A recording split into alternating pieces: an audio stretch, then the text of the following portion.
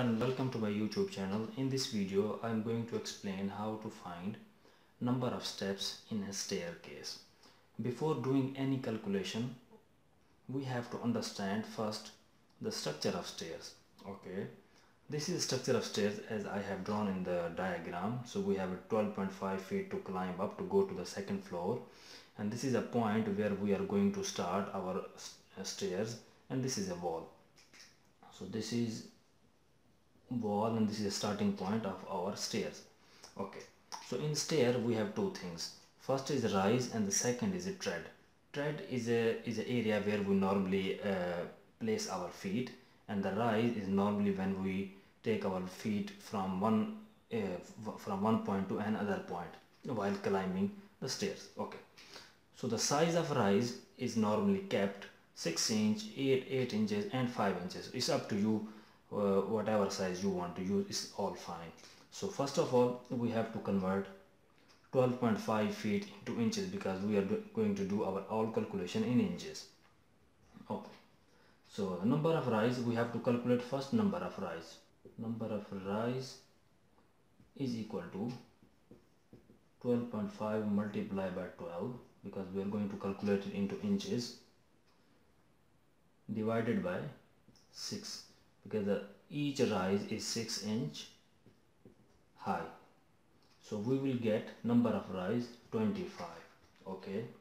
Now what we have to calculate we have to calculate number of tread okay? So the rise we have 25 so 1 2 3 4 5 6 and so on.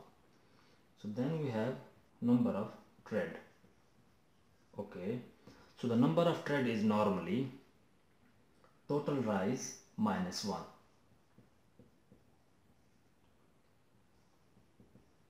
total rise minus 1 why do we do minus 1 because the last step goes into the floor slab. This is our floor. I mean this is our roof I would say not floor.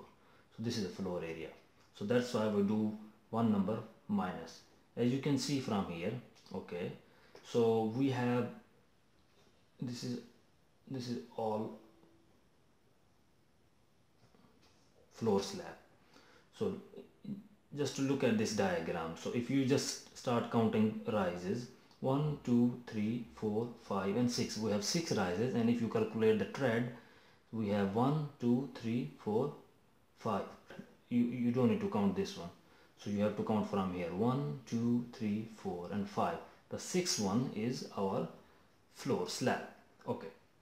So the rise would be uh, sorry the tread would be 25 minus 1 is equal to 24 so we have 24 tread and 25 steps. Okay.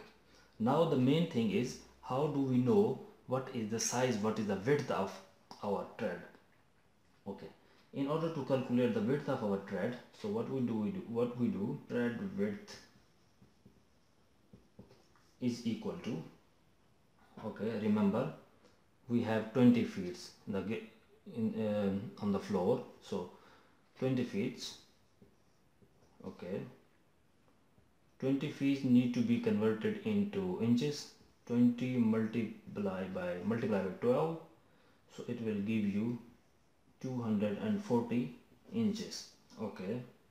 Now so you have 240 inches. The width, uh, width of each tread is going to be 240 inches divided by 24 okay because you can see number of tread and we have to take this value rather than the top one. So we divided by 24 so you will get 10 inches. Okay. So now in conclusion we have number of rise 25 okay. Number of tread we have 24 okay. So how much number of stair would be? Number of steps would be. So the number of steps would be so if you just uh, look at the diagram 25 okay. That's our final answer. Uh, that's it for today. Uh, Thank you for watching my video and please don't forget to subscribe my channel.